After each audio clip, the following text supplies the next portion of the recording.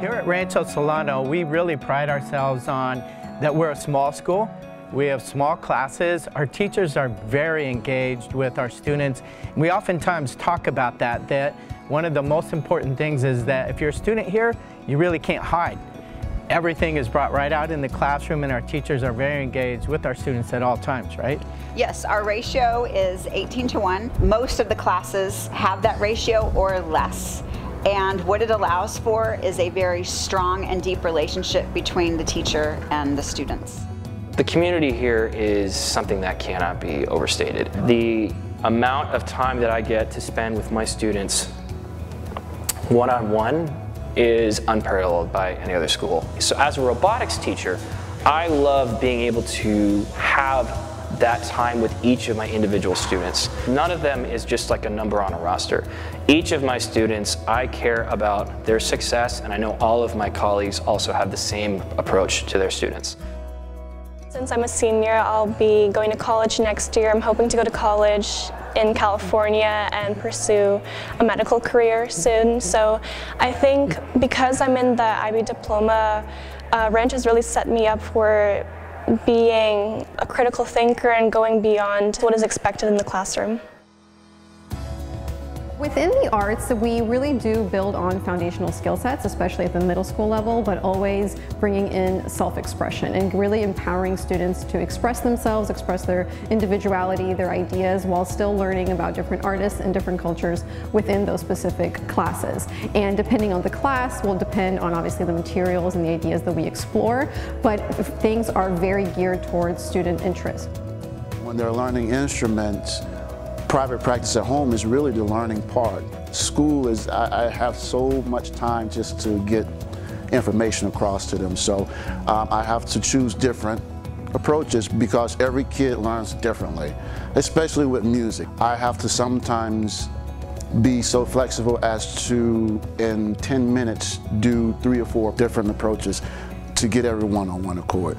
And it may sound tedious, but it's actually, it's actually enjoyable.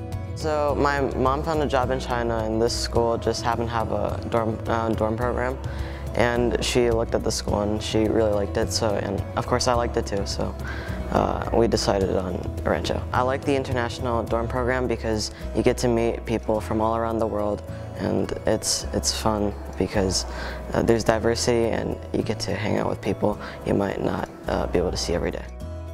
We really put an emphasis on having true scholar athletes, and we're really proud of the number of athletes that we have that are a part of all academic teams, as well as making all conference level teams where they really demonstrate the success that they have uh, as athletes, but also the fact that they're committed to their academics as well is something that we're really, really proud of.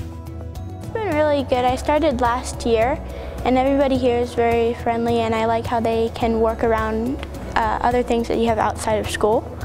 Uh, for instance, I do softball, which I'm glad that they understand that different students have things outside of school.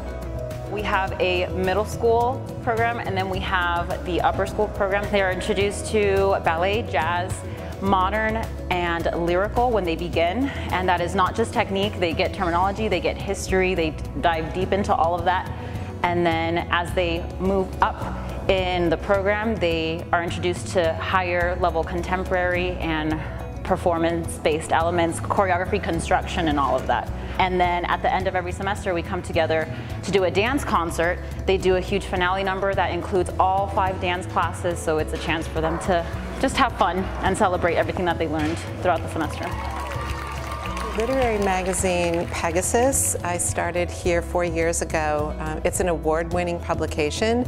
Last year it actually received the highest award uh, for literary magazines on a national scale. It contains student artwork, poetry, short stories, essays, and it is really uh, quite a masterpiece.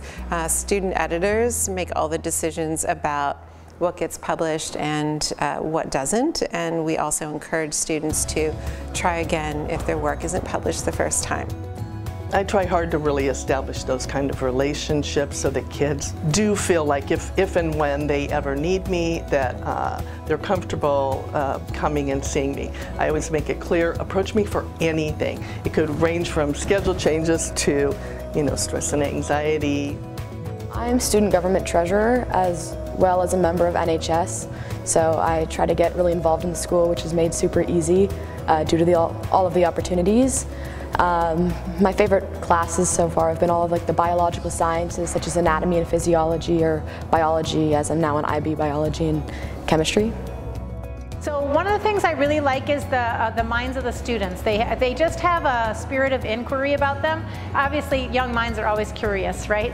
Um, but it's nice to be able to direct them in the, uh, in, in the ways of science here.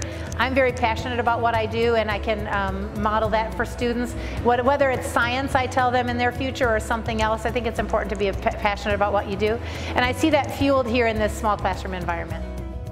My role is Director of College Counseling. I oversee all of academic advising, so for middle school and for the upper school.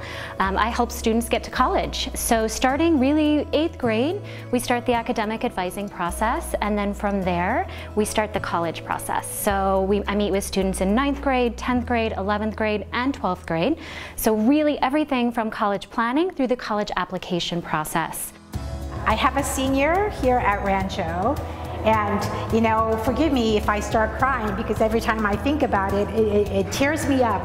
But I feel like being here at Rancho has really opened up not just her abilities, but it's her opportunities. She came with a lot of great skills, but I think what Rancho has done is to give her confidence and then let her develop on her own. And um, I, I just can't thank Rancho enough for that.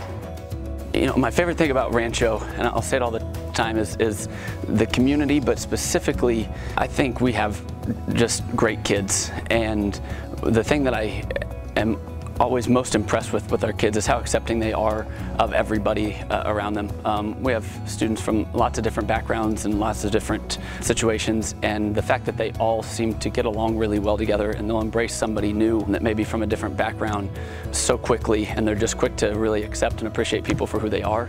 I think that really is unique nowadays and, and it really gives Rancho its community feel.